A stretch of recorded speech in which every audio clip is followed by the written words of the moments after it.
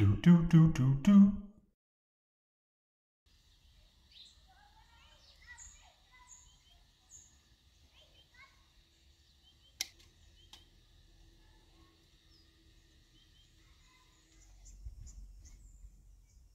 Well, the berry patch is really coming along.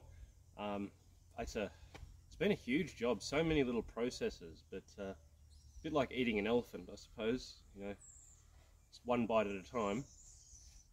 I mean, you can go back and watch the history of it if you like, but essentially it was an old enclosed space that had a few, um, you know, polytunnels and other shelters in there.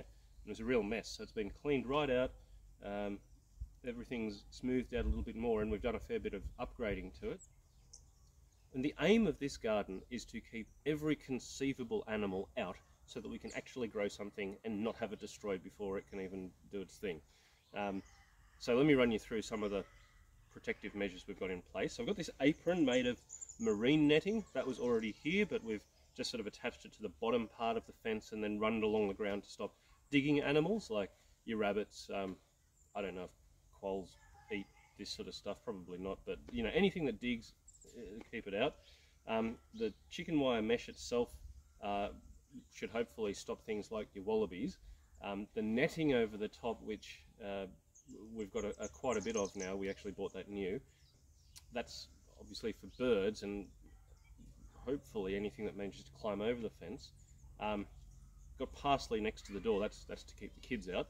And then um, I've already talked about floppy fencing before, but what's happened in the course of sort of putting some tension on this top wire is that the nets sag, or sorry, this, this floppy bit has sagged and it, it's a bit obsolete because any possum, which is really what this is for, would just climb it and just be able to grab the top part and it doesn't work. The idea is it needs to overhang. So, so what I've been doing here is adding these uh, just little, I think this is an old irrigation tube that was broken and left around the farm somewhere.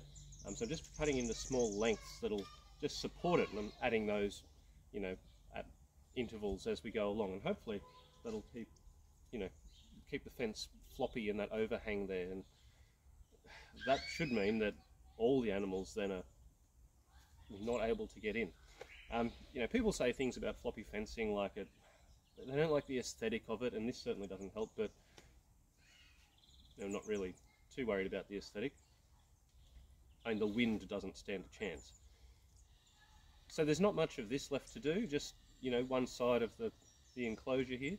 Uh, and after that, there's only a, a, handful of small jobs left. There's, you know, I've got these corners to patch up where the floppy fence doesn't meet.